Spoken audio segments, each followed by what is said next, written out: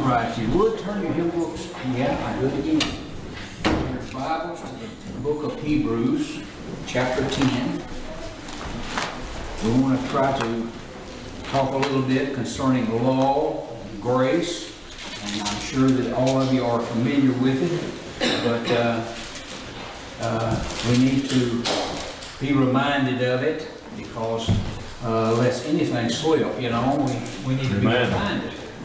And so I'm thankful this morning that I have the opportunity to uh, stand before the Sunday school class and to uh, try to uh, encourage and y'all pray for me that I might be in the will of the Lord, that I might uh, not say anything that would be displeasing to Him, and that uh, what I say might be an an encouragement to all, and we might uh, take these things and uh, uh, think upon them during the week to come, and we might be encouraged. So this morning in chapter 1, of of chapter 10, verse 1 of the book of Hebrews, uh, the writer, a lot of people think, seem to think that Paul, but I'll, I'll say the writer, for the law having a shadow of good things to come, and not the very image, the things, can never, with these those sacrifices which they offered year by year, continually make the comer unto Amen. perfect. Perfect. Now, the writer here is saying he's talking about the law as a shadow.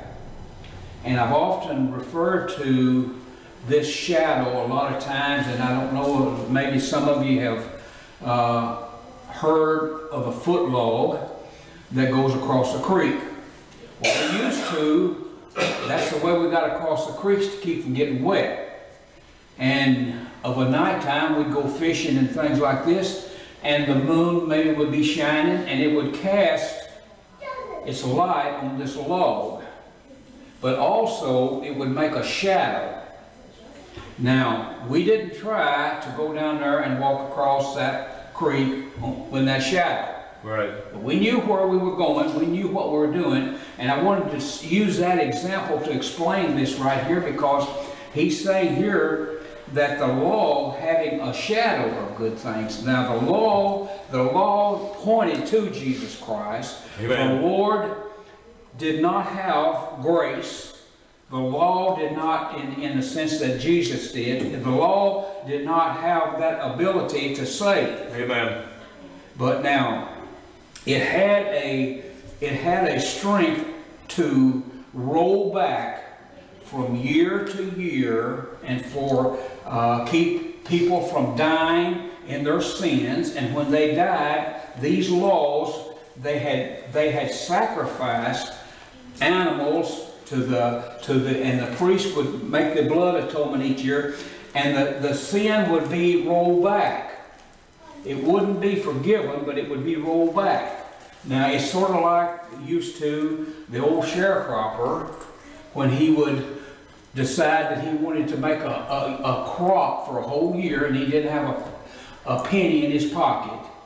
He would go to a merchant and he would ask them, Can I get credit here for a year until I raise a crop of tobacco and I sell it? and when my crop comes in, I'll pay you. Well, it's the same situation here with the law. The law, the law was was a type of thing where that people would would honor and obey and do, and at at the end of the year they would come to the priest, and the priest would make a blood offering for that whole congregation but it wouldn't it wouldn't pay the debt. The only thing that it would do was roll back all those sins because the law was not perfect Right. and it could not save. But the law was what they used for years and years and hundreds of years. And so it pointed to a Savior, Jesus Christ. Right. It pointed to it. But they had not seen it visually with their eyes.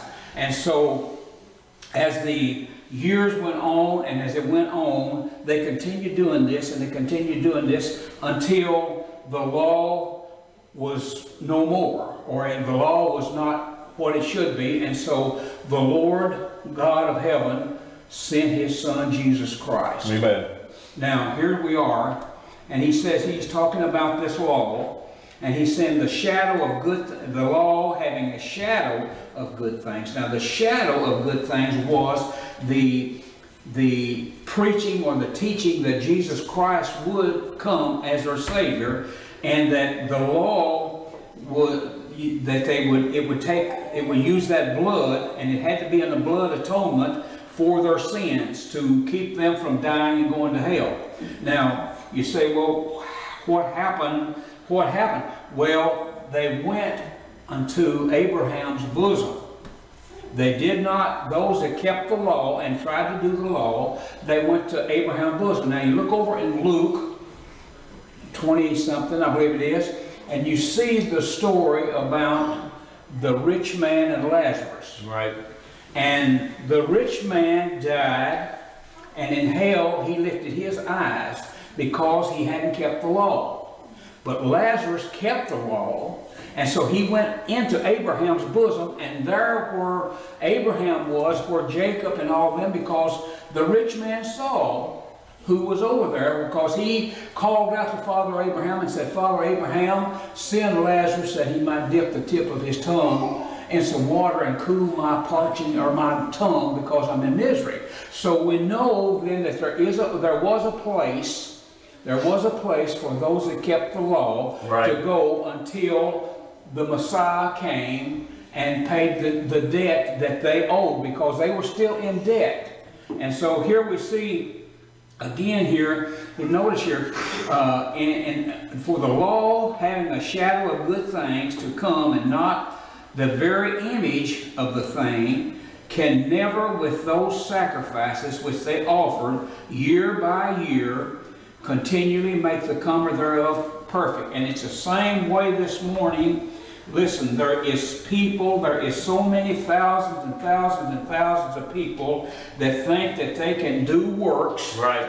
they can, they can justify their sins by putting money in the tithe box or by uh, going down here and helping uh, some poor soul that needs help or, or they can uh, just live the best they can. Listen, that won't work. Right. It just will not work. And now it was it would come closer to working back in their times because they were under the law. But listen, now we don't have to do none of that.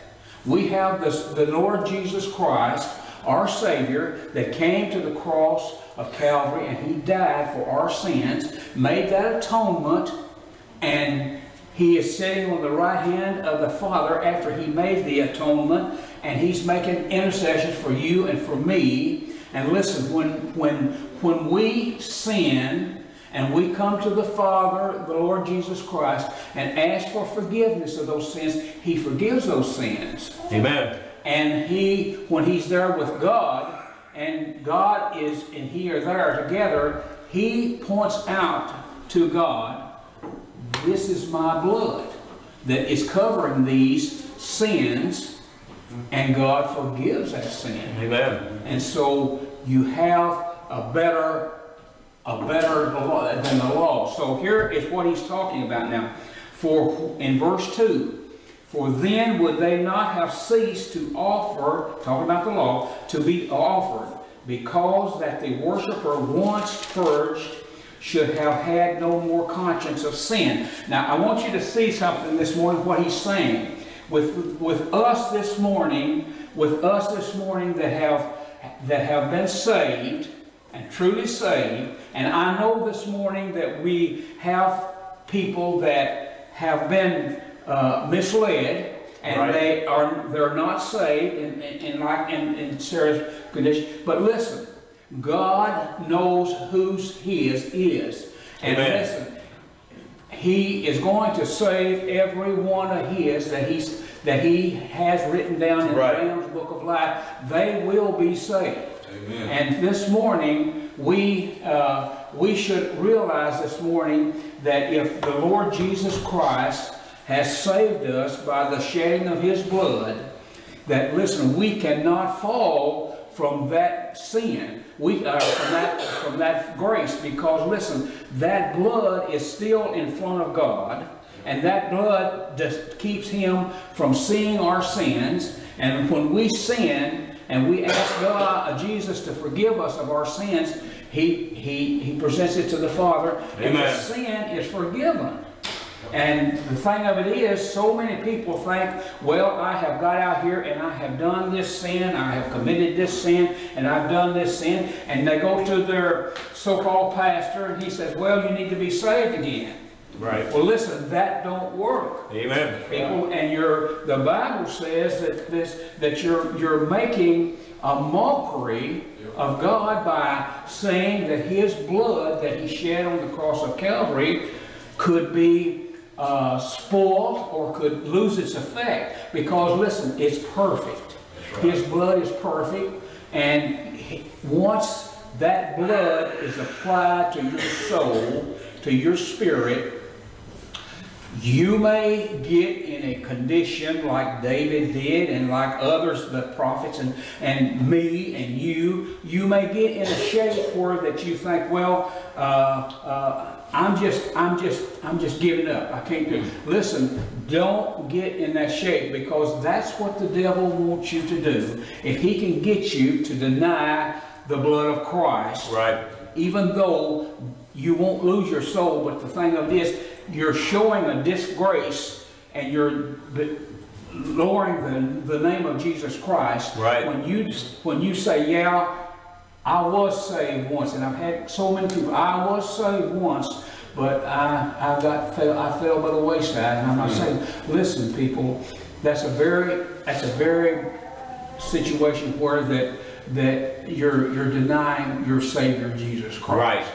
And it's, it's so, it's so, it's so awful. And listen, one of these days, the Lord will bless and, and help you back to where that you were. But listen, don't give up on God because these troublesome times that we have, and we're going through them, and we think, Lord, I'll never, I'll never get through this. But listen, when you get through it, you look back and you'll say how great God is. Amen. How great Jesus is because He brought me through those things. And listen, I had no, I had no way to do it. And listen, I know this morning that there's there's someone in this church that's had those experiences because you're looking at him.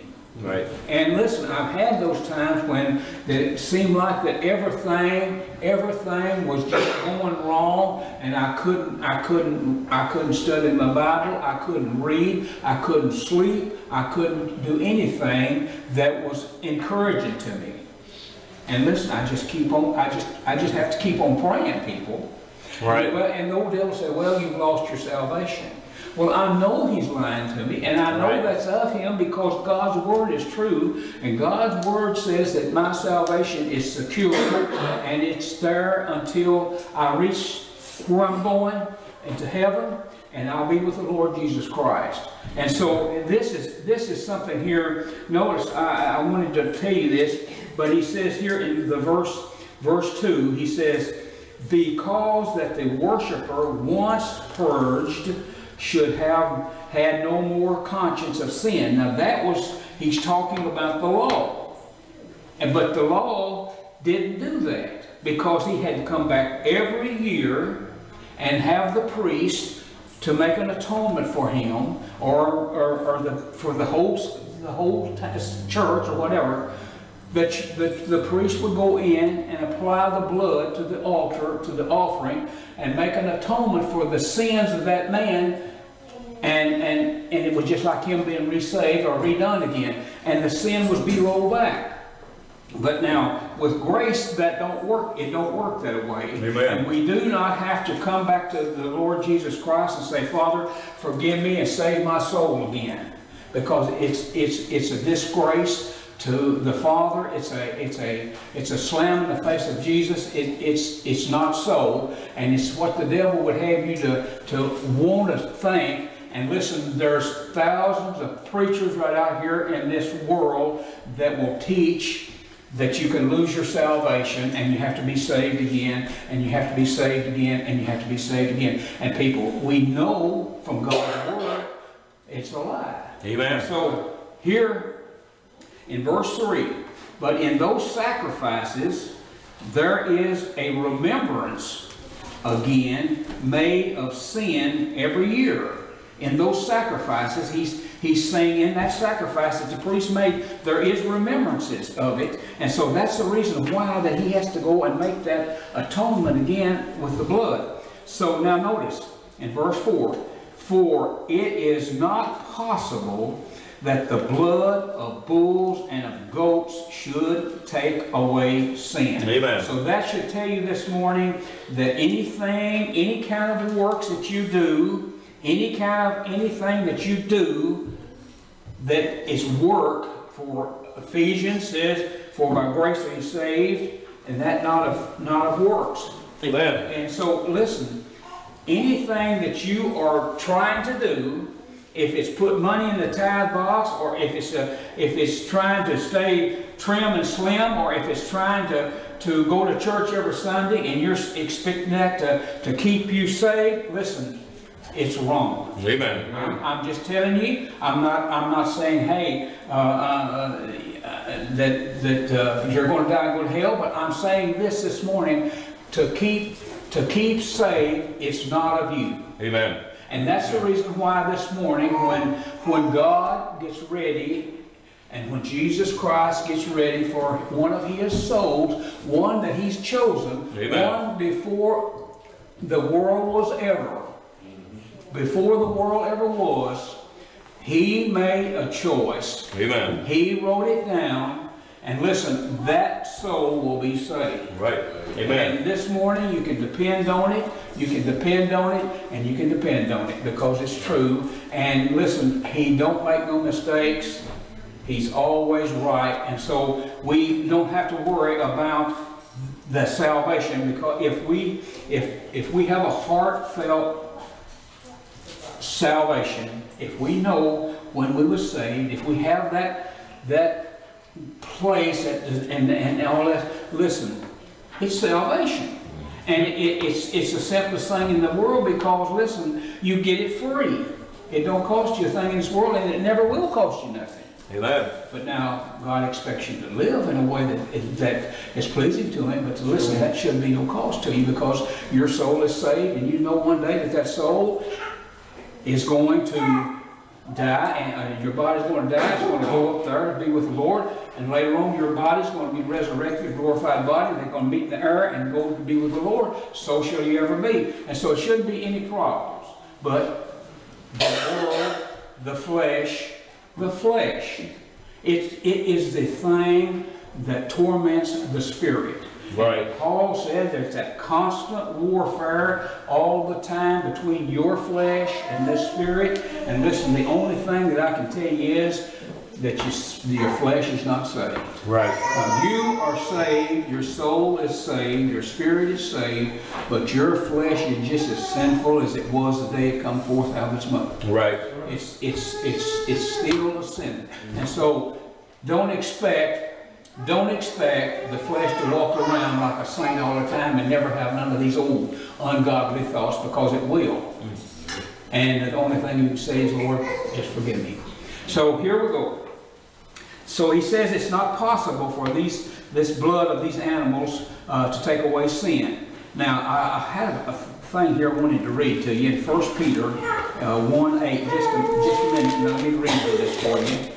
1 Peter in 1 and 18.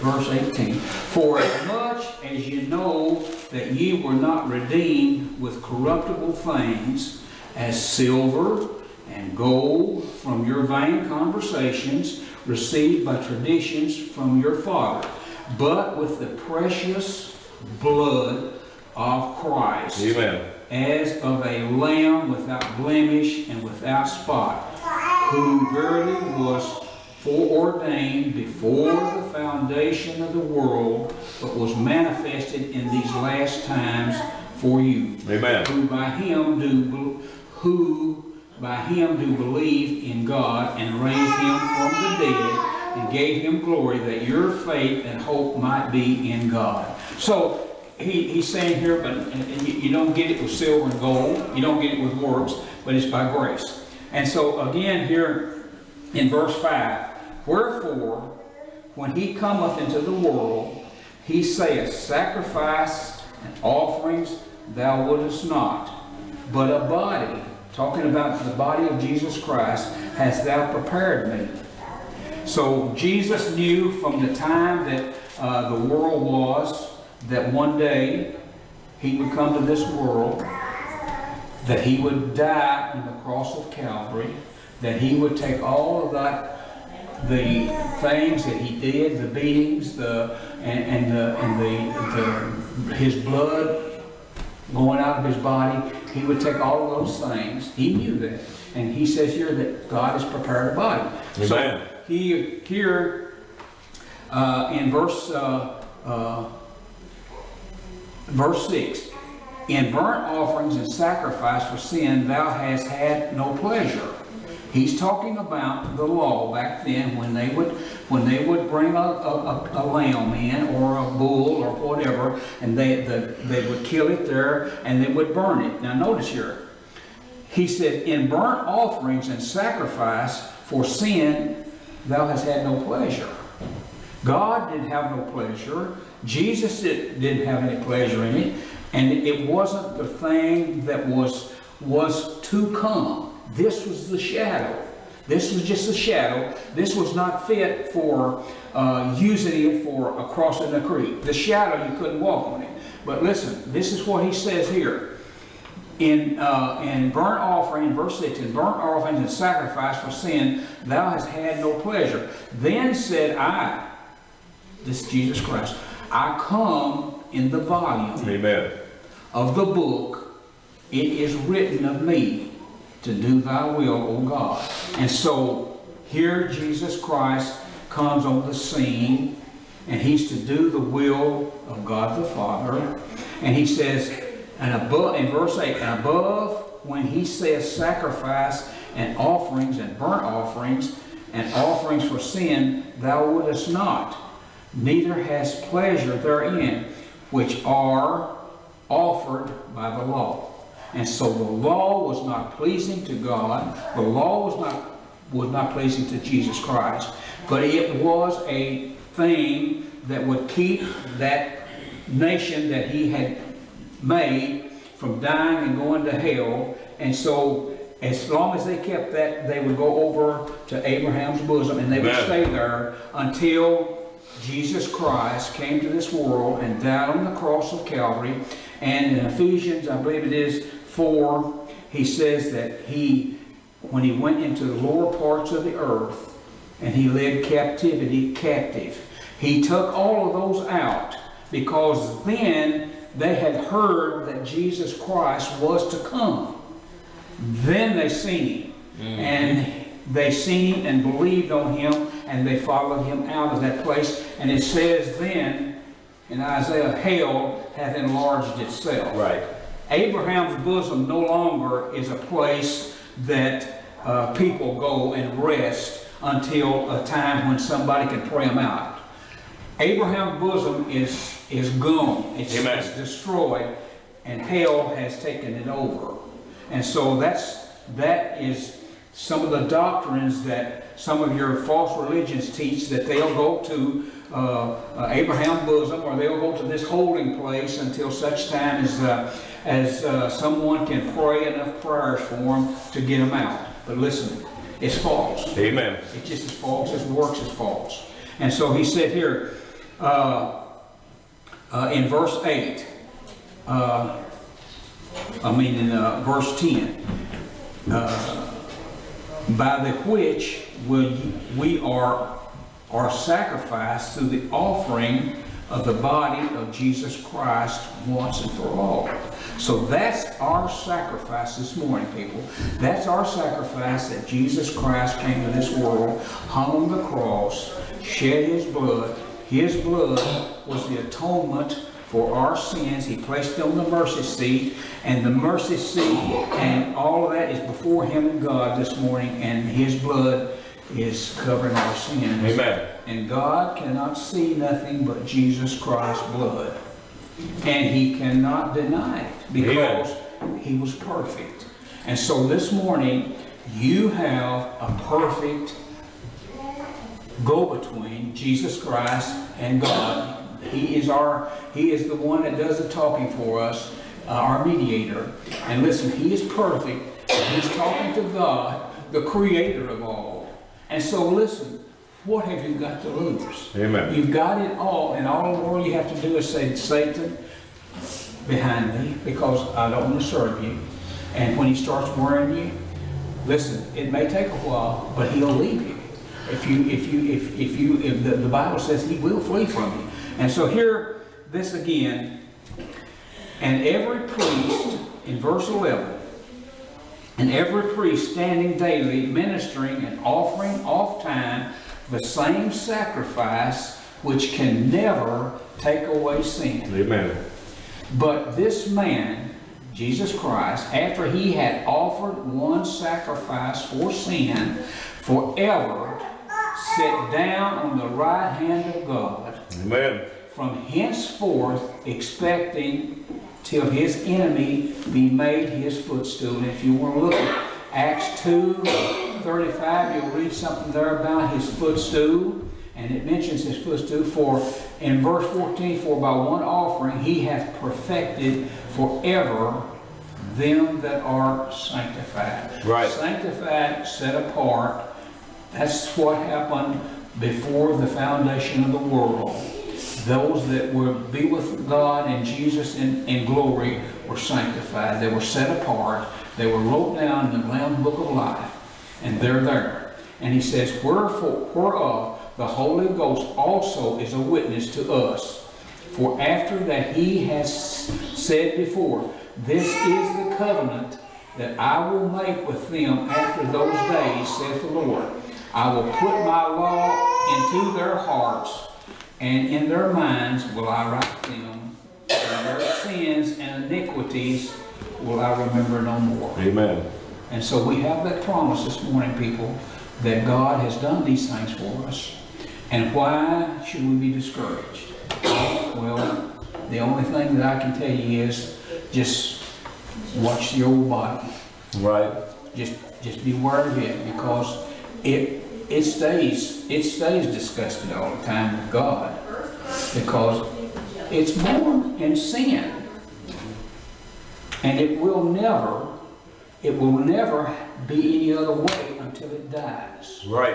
And the, and the Bible says in the, I believe it's the sixth chapter of Romans there, that the, the wages of sin is death. And so this body that we have has got to die and go to the ground before it can be glorified. And then the sin debt will be paid from this body. And we can go and unite when the when Jesus comes and says, "Come up hither," and our bodies comes with our our spirit comes with him, and that grave opens up, and that soul and body comes out, and he goes to be together with with him. Then and only then will we be perfect. Right.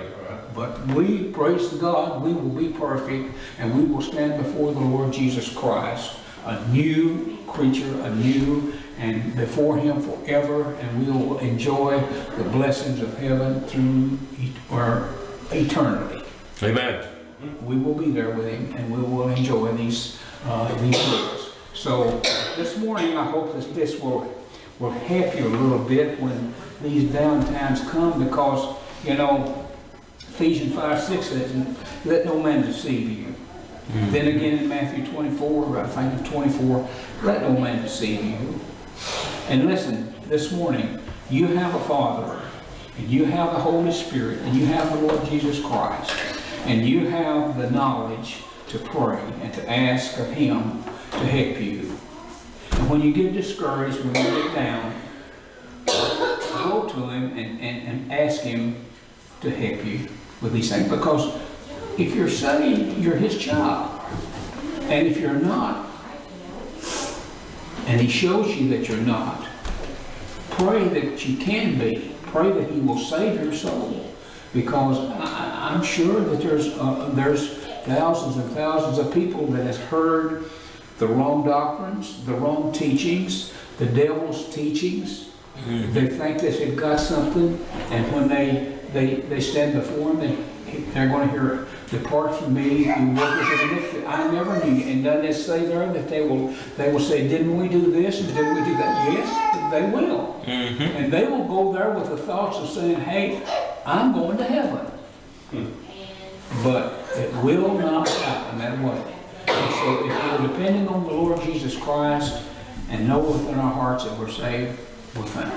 Amen. And uh, just continue uh, praying for one another, continue studying your Bible, continue praying, and continue studying your Bible, continue praying. And listen, that's, that's the, that's the medicine, that's the gasoline that'll keep the old thing chugging. Thank you all so much for listening to me. Amen.